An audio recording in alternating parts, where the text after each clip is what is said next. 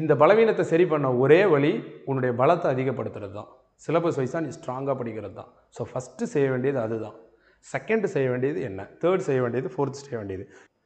So அப்போது எப்படி sir படிக்கணுன்றதுல தெளிவு இருக்கணும். புதுசாக படிக்கிறவங்க ஃபஸ்ட்டு சிலபஸ் வைஸாக படிங்க.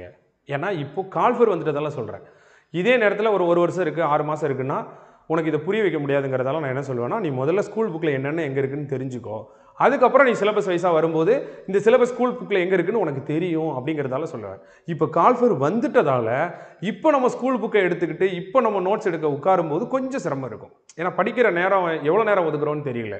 அதனால தான் இப்போ புத்திசாலியாக படிக்கிற பிள்ளைங்க சிலபஸ் வைஸாக படிக்கிறது நல்லது. எக்ஸாம் நெருங்கிடுச்சுன்னா சிலபஸ் வைஸாக தான் படிக்கணும். ஏன்னா சிலபஸ் வைஸாக நிச்சயமாக நூற்றி அறுபது கொஸ்டின் வரும். சரியா? தெரிஞ்சுக்கோங்க.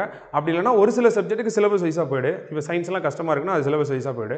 சில சப்ஜெக்ட்டுக்கு அப்படியே ஸ்கூல் புக் வைஸாக வந்துடு பேலன்ஸ் பண்ணிக்கோ. நான் யூ கேன் டெஸ்ட்டு அந்த மாடலில் தான் நான் வைக்கிறேன். சரியா?